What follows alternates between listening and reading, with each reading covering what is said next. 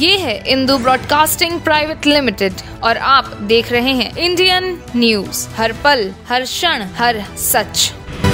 रांची में मुख्यमंत्री हिमंता बिस्वा शर्मा ने कहा कि झारखंड में घुसपैठियों की पहचान के लिए एनआरसी और एनआरसी जैसी सर्वेक्षणों की ज़रूरत पड़ेगी। उन्होंने केंद्रीय गृह मंत्री अमित शाह के यूसीसी के संदर्भ में बयान का समर्थन करते हुए कहा कि आदिवासी समाज यूसीसी के दायरे में नहीं आएगा।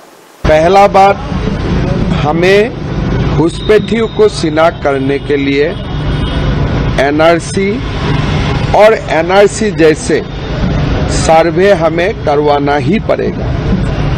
कल गृह मंत्री अमित शाह जी ने बोले, यूसीसी ज़रूर आएगा, लेकिन हमारे आदिवासी समाज यूसीसी का दायरा में नहीं आएगा। आदिवासी समाज अपना रीति नीति परंपरा का साथ रहेगा। बाकी समुदाय के लिए यूसीसी ज़रूरी है। यूसीसी आएगा तो उससे डेमोग्राफी को भी संतुलित करने में मदद मिलेगा। सुप्रिया जी ये कह रही है कि और राज्यों में आपकी सरकार है। तो उन राज्यों में यूसीसी लाए एक दो स्टेट को छोड़ छोड़कर यूसीसी पूरा देश में ही आने वाला है।